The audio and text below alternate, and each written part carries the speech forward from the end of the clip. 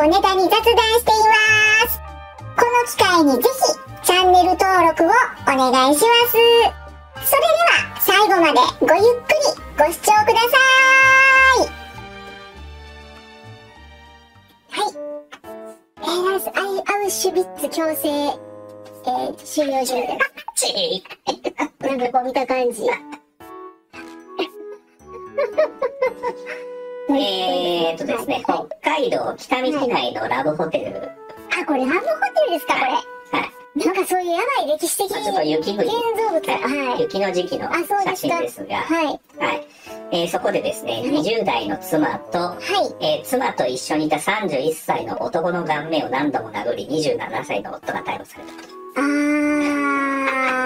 ー、そうですか。えー22日の午前、はい。はい。午前ですね。22日の朝から、はい。えー殴られたのは、これこれ日曜日ですよ。日曜日の朝に、は殴られたのは、えー妻と妻の知人で、い。うん。えー同じホテルを利用していた31歳の男と、うん。で、ホテルの従業員から警察に揉めているという通報で、はいえー駆けつけた警官が、はい。はい。えー犯行を確認して、はい。えーこの夫をその場で逮捕したと。で、さらに、はい夫と一緒に現場に踏み込んだと思われる、はいえー27歳の、えー自称土木作業員の男もその場で逮捕されたと。はあー、い。まあでもまああの、な、嫁がな、はいさんあ、こんばんは、いらっしゃいませ、ありがとうございます。嫁がな、嫁に男いるみたいなんやんか。でね、土木作業員の友達に相談しました。そうそう。後つけた方がいいんじゃん。ね、そうそうそう。で後つけましたと。よし、入っていったぞと。よし、これもう確信持つ。絶対やな、言うて。後から後つけてその部屋入っていって、もうボコボコですよ。そら。ってことでしょ？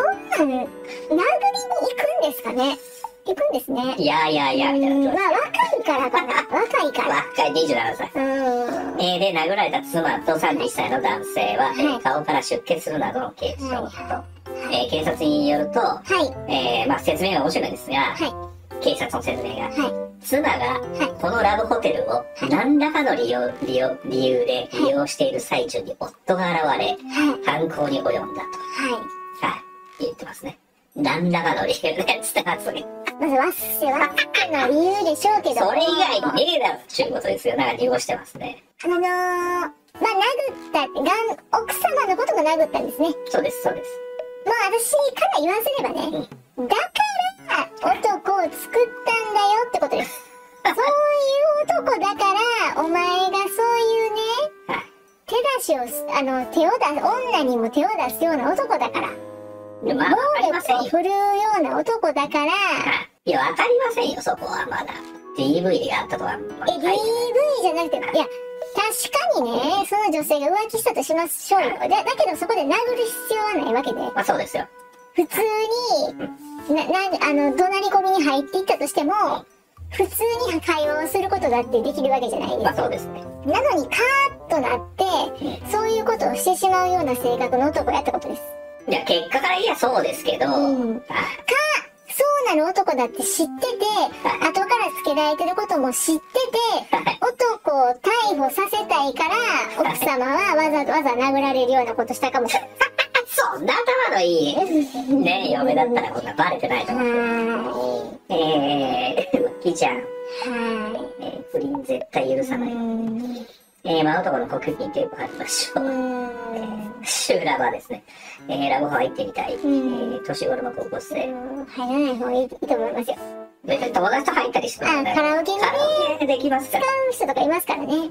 うん。警察を濁して。うん。えー、で、えー、警察が現場に到着した際には、この客室には4人全員いたということですね。はい逮捕された男2人は、えー、間違いありませんと認めているということですね。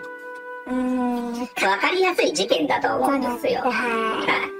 もう僕はもうこう思ったのは22日、い。はい。ね、えー、嫁が日曜日から、の日曜日のね、はい。昼間からですよ。はい。はい、午前中ですから、はいラブホテルでね、知人の男とかセックスするバカだと思うんですよ。まあそうですね。はい。うん。で、旦那は前々から分かっていて、うんで、泳がせて、うんもう真男と会う日を確認して、はい。で、この土木作業員の友人と一緒に突撃したっていうことで。ですそれが夜やったらいいんですか？昼間からやるバカでだから、あの、日曜日、うん。まあ、この旦那さんも土木作業員なのか分かりませんが、はい。あのーまあ、ちょっと日曜日現場があるから、はい。えー家にいないからって言ったら、はい。はい。まあ、嫁がね、はい。えー浮気相手に連絡して、うん。日曜日朝からできるからみたいな感じに、まあ、してた。で それをあらかじめ分かってて、はい。つもここにいるなっていうホテルで貼ってたら、まあ、案の定来やがったと。えー、盗撮ですか？盗撮、いや、違いますね。あ違うもっと、あの、物理的に。だしま、出し前ですね。かけま、まあ、直接襲っただけです。あ、襲っただけ。はい。はい。はい。えー、21日なんですが、うん大阪で、はい。はい、好みの女子大生を尾行し、はい。袋をかぶせ首を絞めた39歳の会社員。めっちゃ怖いですね。もう拉致、もう北朝鮮に拉致されされたのかなと思いますよ。私やったら。あやばいやばいやばいやばい。連れて行かれる。そうそう連れて行かれる北にって思いますよ。そうそうそう。このレベルです。ね。えー、大阪市平野区平野、えー、西はい2。丁目の会社員ですね。はい。大前武久。怖いですね。はい。大前さん。はい。えー、容疑者ですね。39歳。39が。はいはい。えー、事件があったのは3日ですね。はいえー、午後11時20分頃。はい。えー、場所が大阪府内のマンション。1階エントランス。はい。はい。えー、ひ東区だったかな。一回エントランスで襲われたんですか？めっはい。ちゃ怖いですね。はい。えー、で、帰宅したこの女子大生、後ろついてきて、はい。えー、オートロック式の出入り口からマンション内に侵入したと。私だってもう一回出ますけどね。うん。あ、そういうね、ちょっとうん、うん、やばいなと思って、もっぺん、もっぺん出て、近所のコンビニぐらいまで走っていきますけどね。はい。で、えー、女性の背後から、はいえー頭に袋をかぶせて押し倒して、はい。首を絞めたり口を塞いだりして殺害しようとしたと、はい、なってるんですが、はい。えーまあ、このお前は殺意がなかったと、まあ、容疑を一部否認してる。で、何、いつ、どうやってこれ、あの、助かったんですか？その女子大生は。えっ、と、同じマンション、大学生なんで、はいえー同じマンションに友達が住んでるそうですね。はいはいで助けを呼んだみたいですけど、どうやって助けを呼ぶんですか？でそれはわかりませんけど、はいまあ、はい大声で叫んだんでしょうかね。はい、はい、はえー、早乙女しおりって綺麗な名前ちゃ。ねえ、サオテン、東映修例めっちゃ綺麗な名一緒に前帰ってそうです？えー、噂とかされると恥ずかしいし。大学生は気の毒そうですね。私も気をつけよう。ドラマになりそうですね。まあ絶対なってるでしょ。う。マンションエントランスって防犯カメラないか。まああるでしょう。うーん。あの、結局こいつも防犯カメラで、うん。はい、えー、あれされてます。あ、逃げたんですね、じゃはい首絞めて殺人あ。あもうやっ一応、頸椎捻挫っていう、まあ、ね軽傷を負ってるそうですが、うんはい。えー、その時スマートフォンと鍵を奪われてたと。ははい。い。で、抵抗して、はい。えー同じマンションに住む友人に助けを求めたと。はい。はい。で、えー特定は防犯カメラってことですね。ああ、そうかそうか、その時に、もうすでに逃げた後だったんですよ。誰かがわー走ってきて、助けてくれたってわけじゃなくて。まあ、大声出したんでしょうかね。わかりませんけうんど、そんなしょうもないことするより、えー、はよ家帰ってシュークリーム食べて。まあもう、で、こいつの動機なんですが、はい。はい。はい。えー、女性のアルバイト先で見かけて好きになり、はい。後をつけて住所を知った。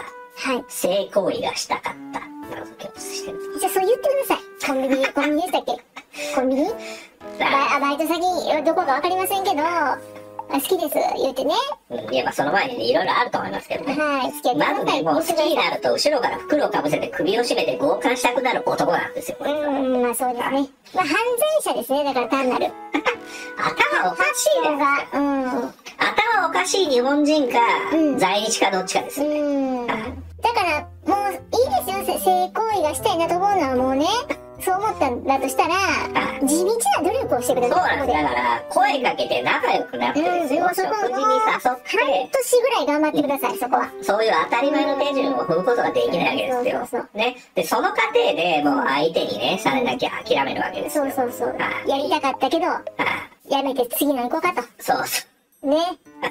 うーん。う。ね。あの、だから、こう、いきなりこういう、はい。ね、あの、もう、いきなりじゃないですか。はその段階じゃなくて、い。やり、やりたいだけですか。もうだからストーカーっていうね、はいえー観点からもう相談できないんですよ。そうですね。はい。もうそこもふ踏まえ、ストーカーさえやってないですかそうだ、声かけられてね、しつこいんですって誰かに相談する間もなく襲われるわけでしょ。知らない間に後もつけられてますからね。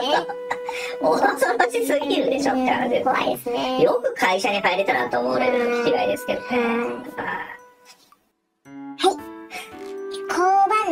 ですか、これは。はいで、えー、察、こう、えー、交番でってこと？えー、交番でまた、えー、大阪ですね。強姦事件を交番のおまわりさんが はい相談に来たはい。おばあちゃんからお金を騙し取った。あ違う で、その警察官を悪者に。えー、交番に火をつけたと。ははい。い、えー、燃やそうとした28歳の男あたり。ああ、そうですか。自称徳川修斗。はい。28歳ですね。徳川修斗28歳。はい。えー、これ24日、はいえー、ですね、うん午前2時頃、なんで昨日ですが、はい。はい。うんえー東大阪市の寿町交番の1階に置って置いてあったチラシに、えーライターで火をつけて燃やそうとしたってことですうね。えー、この時2階では警察官が休憩していたそうなんですが、はい。えーこの自称徳川君ですね、うん。事件の直前に酒に酔っていて、はい。えー財布を、まあ、落としたと。はい。で、遺失届を出すために交番に来たんですが、い受付に誰もいなかったので、はい。えーこの交番どないなってんねんと、うん。110番通報してたんですが、はい。えー結局誰も来ないっていうか、いないので、うんうんはい、えー火をつけようとしたらしいですね。なんかあの、ねえ、あの、なんていうんですか、ファミレスのレジにあるチーンないですか？これ、ここのあの、が、こういう、多分ね、ボタンがあると思うんです。チーン流して。呼び出しボタン。うん、そうそう、そういうやつ。あと電話が置いてある場合では、奥から、うん。その電話受話器取ると勝手に繋がるようになってたはずです。あ、そうですか。っていうか、いいの？おまわりさんそこにいなくて。いや、いたんですよ、2階に。2階じゃなくてそこに。もうずっといて？ずっといててほしいです。その休憩する時間帯必要ですから、あの二人で交代制で、お前は寝てこいよ、ここ、俺はここにいるとかいうことにならないんですか？これは大きいね。えうんー、交番はそういうのやらないですね。やらないんですか？そうですか。は自称酔っ払いならバレたそうですね。えー、おまわりさん、こいつにえー30口径シュートしてあげる。えーなぜ火をつけるのかあの、すいません言うていいんじゃないすいません言うて。うんそれ助けて言うたんじゃないまあ、全然そうなんちゃうのに。助けて言うて。ほな、慌てて上から降りてくんじゃないですか？いや、普通にね、はいその呼び方があるんですから、それ使えばよかっただけだと思うんですよ。うん。この交番からどっか別のところに110番通報したって意味ないですからね。うん、まあそうですね。うん。はい。で、まあ、防犯カメラ。まあ、逃げたんでしょうけど、はいえーこの徳川君を特定して、はい。えー捕まえたんですが、うん徳川君は作り話をするなと、容疑を否認してると。あはい。ー、そんなこと言うて。はい。で、これもそうですね、腹立ち紛れに放火とかね、うん。えーまあ、頭おかしいやつか、在日のどっちかですね。ですね、その、火の元を持ってるんですね。ライターぐらい持ってるでしょあ持。ってるんですか？タバコ吸う人。うん、あ、そうですね。はい。えー名前が自称ってもしかしてこいつ。えー、確かに朝早かったですとすぐ出てこないですね。以前早朝に、えーお金拾った時は渡されました。うん。えー、結構おまわりさんに、えー、おまわりさん留守にしてるし呼び出してもなかなあ、か。そうなんですね。お留守が多いんですね。まあ、おそらくですが、財布を落として免許証とかもないので、はいえー裏取りができないので自称になっちゃってるんですよね。うん。はい。ていうか、いない時仲間の方まで入っていけるじゃないですか、そしたら。どんどんズカズカ。うん。まあ、入ってきゃよかったじゃないですか。うん、すいません。第2階上がっていて、上がってきてね、寝てるお前さん起こして、すいません、ちょっと、ちょっと、言うて。うん。まあ、それはそれで問題かもしれないですけどね。ねまあ、そもそもね、はえー、まあ、通名かもしれませんけど、い。はい、はい。うんそうですね。もう一回言いましょうか。財布を落として免許証が取れないと、とかがないので、はえーで、警察がこの自称って言ってるのは、まあ、裏取りができないと。い。だから外国人なんじゃないですか？身分証がないんで、はい。はい。財布と一緒に落としちゃって身分証がないので、通称、通称使いの自称。徳川、ちょっとわけのわからん名前にして。ね。そんなどうですか？ね。日本の。徳川っていう名字って、はそんなにいます？い。わかんないですけど、やっぱり日本人言うたら徳川かな言うて知ってんの誰が知ってるって頭の中でわーって、家康かってなるってね。大阪で？はい。秀吉でしょ大阪だったら。いや、なんて。だから、だから、だから、大阪人やったらそう考えるとこが、外国人やからもうわけわかんない。朝鮮人わは、けわからん。ねん。朝鮮人秀吉嫌いですよ大阪のことし、あの、日本の名前って聞いた瞬間にパッと思い浮かぶのが、まあ、日本人やったら、ペッとかで、あれ向こうやったら、向こうなんか名前で、パク。パクペ。とかそういう思い、そういうみたいな感じで、あの、その人が思い浮かんだのが、徳川。徳川かなと思ったんじゃないですいや、他か。にもあると思いますよ。うえんーえー徳川修斗そうですね。サッカー好きなのかなお父さんがわかりませんが。うんままあ、そもそも通名かもしれないですけど。はい、はい、そうですね。交番におまわりさんいないからといって火つけても財布は戻らないですけど。そうですね。うん。はい。えー、高い高いですか、これは。ね。高い高いですね。左の写真がね。えー、え、わか、え、何ですか、これは？え？ちょっとわからない。全然わかりませんけど。1歳の中国男児、お腹に赤ちゃんがいた。中国中部の湖南省小丹市で1歳5ヶ月の男児のお腹が原因不明で膨らみ、湖南省人民病院で診察を受けた後、医師がそのお腹から発育不全の胚胎を取り出した。このケースは風乳胎児と呼ばれ、稀に見られる先天性疾患で、男児は21日に無事退院し、順調に回復しているというあ、。そうですはい、ってことですね。か。はい、はい。えー、湖南省小丹市の1歳5ヶ月の男の子ですね。はい。はい。はいえー、原因不明で膨らんだんですが、うんうん腫瘍だと思ってたら、いえー、発育不全の胚胎だったと。これ一冊なんですが、はい。えー、男の子の母親による表現ですね。3ヶ月前ぐらいから、はいえー、お腹が膨らんできたと。ははい。い。えー、まあ、過食が原因だと思ってるようにいかなかったそうなんですが、はい。その後ますますお腹が膨れて、うん。えー、痛くて泣き止めてなったと。あら。はい。で、小児科医を受診したところ、うんえーお医者さんの検査で、うんえー腹腔、男の子の腹お腹ですね、はい。えー直径13センチぐらいの巨大な腫瘍があると。でこのまま、13センチ。うん、このまま膨らんでいくと破裂して出血したりして、あはない。他の臓器を、ねうんあのまあ、危険にさらす可能性があるのですぐ手術しろと。はい、はい。で、えー、腫瘍切り取ったんですが、はい。はいはいこの中にですね、完全、はい、両、完全な両手足、えーそれから背中、はえー、およびまだ完全に発育していない頭部があったと。い。はい。はい。で、これを風乳胎児って言うんですが、はい。はい。えー、もう体内、えー、胎児内胎児っていうのが言われるですね。はい。はい。はい。えー、場合によっては一人の完全な、えー、胎児はい。が入ってる可能性、ば場合もあったりすると。え、それってなんでなんですか？あのね、あ、これ、げなる原因は、うん。えー、一卵性ソーセージうん。だったものの、うん片っぽが発育不全で、うんえーもう片っぽに、うんえー寄生する形で体内に入っちゃうってことですね。あー、一卵性の場合ですね、それは。みたいです。うんうんうんはい。まあ、二卵性でもある可能性はありますけどね。うーん。はい。そう、だからピノコなんですね。ピノコってな、どんな感じでピノコも、うんその、腫瘍の中に、うん。一式入ってたのを、はい。えーブラックジャックが組み立てて人間にしたんですよ。はいはいはい、なるほどね。ははいはいはい、そういうことね。い。はい。そう。まあだから、この手塚先生でしたっけ？手塚。そうそうそう、手塚先生。で、お医者さん、お医者さんだったんでしたっけ手塚治虫先生は。そうです。はい。だからまあこういう事例が本当にあるんだよっていうことをきっとご存知で、はいこの漫画を描かれたってことですね。そうですね。はいピノコが、うんもう、かなりの初期の時時からもういますので、はいはいはいはい。まあ昔からきっとあることなんでしょうけど、そんなにこんなにはないことだけれども、まあ医学の勉強をしてるさなかにこういうことがあるんだよっていうふうなことをまあ勉強されてるんでしょうし、はい。だからこその内容なんでしょうけど、まあはい。最近そういうのがまた、そういう、中国で。そういう事例があったってことなんですね。発生率は新生児の50万分の1。はいはい、それはそうでしょうね。はい。どえらい少ないんですが、うんうんうん。はい。まあ、そもそも双子である前提。はいはいはいはい。で、その中でもさらに、うんえー片っぽが発育不全になっちゃってっていう、うんはい、形になるってことですね。はい。へー。えーちなみにその文献で報告された、うん。えーその症例としては、はい全世界でまだ100例未満だそうです。うんうん。相当少ないですね。うん、それはそうだと思います。うん。そう、実際にあるんですね。アニメみたいな話ですよね。うえー双子だったのは、えー何らかの原因で、えー片側の、えー兄弟に取り越すものです。男の子の生みの苦しみ。ねそうですね。手塚先生、阪大医学部出身です。まあ、ものすごく優秀な方ですね。はい。ちゃんと友達うんうんうんそう。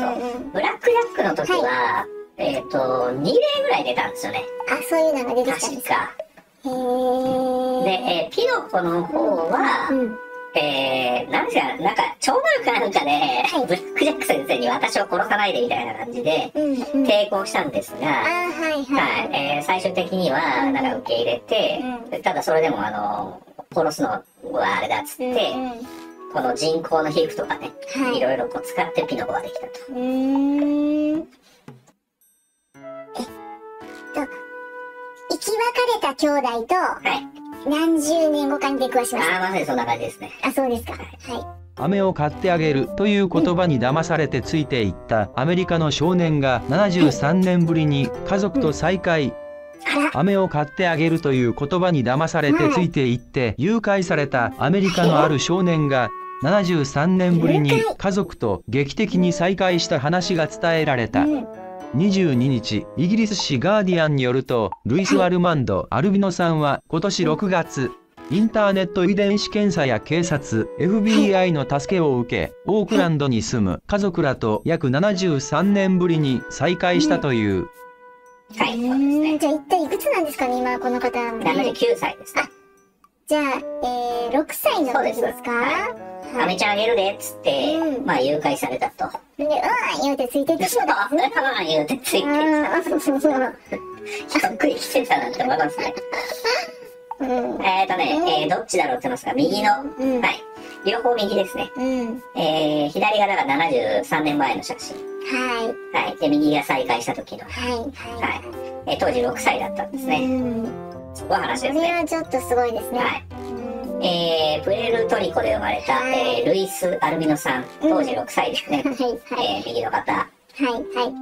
1951年の2月21日に、はい。えー、兄の左側のロジャー・アルビノさん、当時10歳ですね。はい。と一緒にカリフォルニア州のオークランドにある公園、はい。えージェファーソンスクエアパークっていうところですね。はいえー訪れて、はいえーそこで飴を買ってあげるっていうスペイン語で話しかけてくる、うんえー女の言葉に騙されたと。あ、女の人ですか？うんあ、そうなんだったんですはい。ねよ。く無事だったからね。そう、育てたみたいですね。じゃあもう誘拐しただけではなく、普通にちゃんとご飯も食べさせてあげて、おそらく人身売買。はい。だと思いますはい。はいはい。この女が育てたわけじゃなくてですうね。んうんうん。はいはい。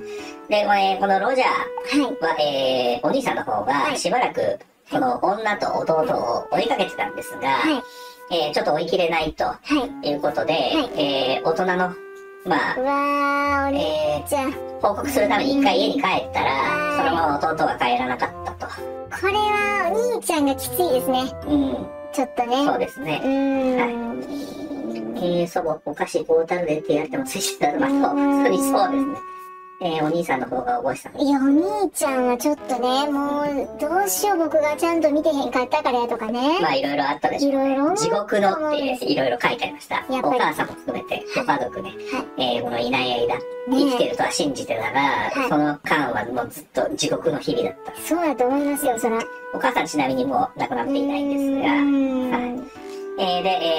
えーアルビノさんですね、はいえーこの弟の誘拐された方ですが、うんうんうん。えー東海は岸に住むある夫婦に育てられたと。い。はい。はい。要するに多分そのスペイン語を話す女が、うんえー連れ去って、うん子供のいない家にうん、撃ったんですかね。たんだと思います。はい。で、その、でもその、勝った方の親も、あれ、親ってあの、方もね、え、どこから来たんですかっていう感じにならない、あの、そちらの、多分ね、そう、当時の、うあー、ん。大丈夫ですかそんな身元みたいな気にしないんじゃないですかね。えーとにかくない、いい品からいたらいいわと子供がなそうそうそうなんでもええから。うん。うん。なるほど、買った先のそうなんですね。うえん。ー、それは辛い、えー、親御さんは無念だったそうですね。ねで、はい。えー、この、えー、再会するに至ったきっかけなんですが、はい。はい。えーこのアルビノさんの、うんえーメイはい。ですね。はい。えーアリダ・アレキンさんっていう方なんですが、はい。えーこの方が2020年に、はい面白半分で受けたいオンライン DNA 検査っていうのがありまして、はい。はい。えー、まあ、それを受けて、はい。えー検査の結果、自分の遺伝子とこう22%も一致する男性が、はい。えー、反対側、はい。はい。アメリカの、アメリカの反対はい。東の方にはい。いるっていう事実を知ったと。はい。はい。ひょっとするとと思ってですね、うんこのメイのこのアレキンさんも、うん。えー、おじさんがいるっていうのは知ってたと。うんうんうん。そのおじさんやったらええな、ゲラゲラゲラぐらいの感じで、で、その誘拐されたね、おじさんである可能性もあるっていう考えで、うん。えー調査に出たと。うんうん。はい。うん。で、えーその中、うん。えー今年の初めにですね、はいオークランドの公共図書館で、はい。えー当時のこの誘拐されたアルビノおじさんの写真、うん。えー新聞記事ですね。はい。はい。えーを確認して、うんその新聞の切り抜きと、はい。えー DNA 検査の結果を、はい。オークランド警察に知らせたら、はい警察が再捜査をしてくれたと。あ、ちゃんとしてくれたんでよかったです70年以ね。上だって。うーん。はいうん。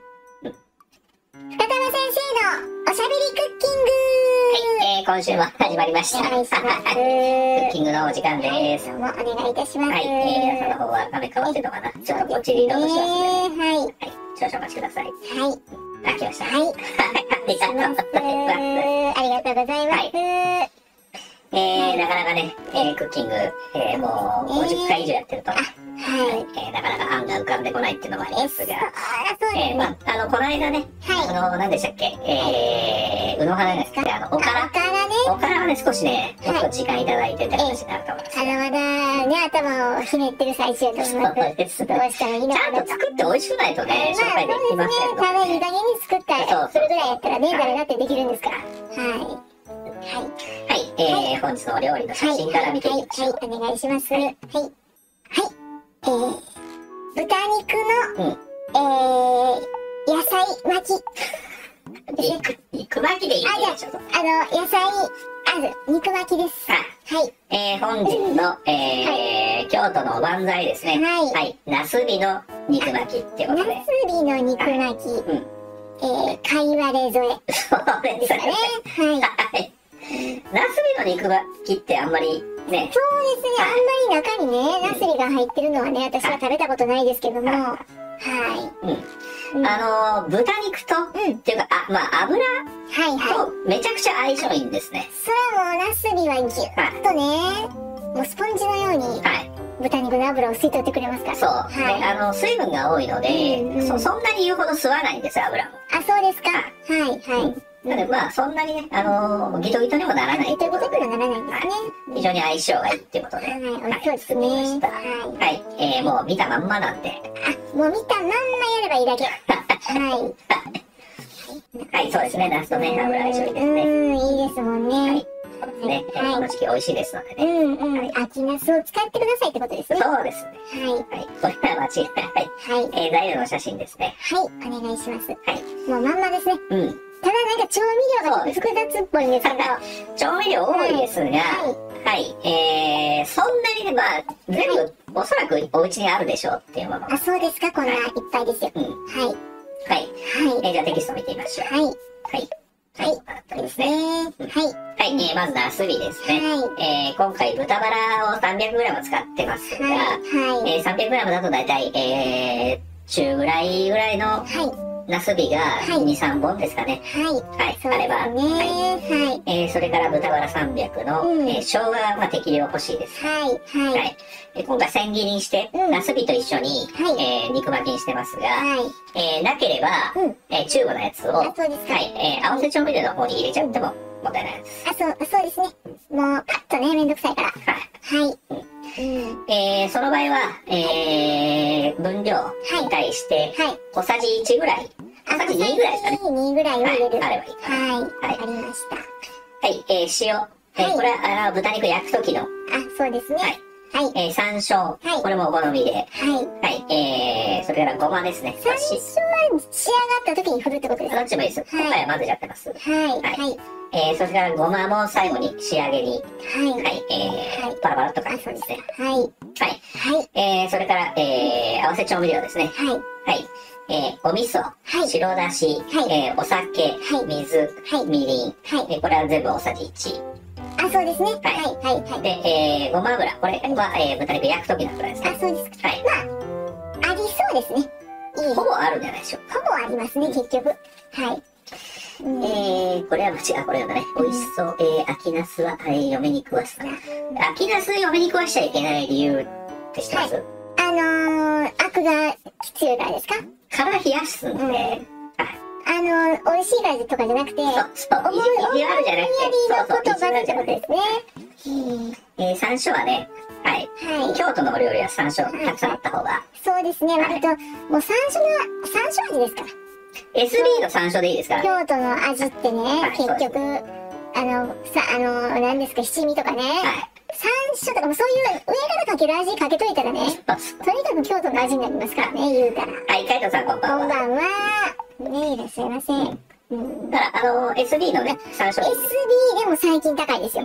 あ、そうなんですか。はい。はい、えー、いい時間になりましたので、はいはいはい10時回りまして、ははいい、配信時間もね、3時間回りましたので、そうですねはい、はいそろそろあのはえー、僕はちょっと明日ね、はいあの、実家の方に、い。はい。車でブーンと、そうね、そういう方を、週におっしゃってるんですね。はい。えー、まあ、夜に行くつもりなんですけどね、まあ、ちょっと、はいあのー、えー、動画の更新がね、少し遅れる可能性もあります。ああ、なるほど。うん、まあ、それ以外は、はい。はい。でそうですね。、えー、先生、あ、ちなみにあの、皆さんね、あの、遅くまで、あ、そうですね。はい、えー。楽しんでいただけたでしょうか？ね、はいどうも、あいつもありがとうございます。えー、次回は先生、えー、今日水曜日なんで、次あ、回じゃあ日曜日ですね。うんはい。はい。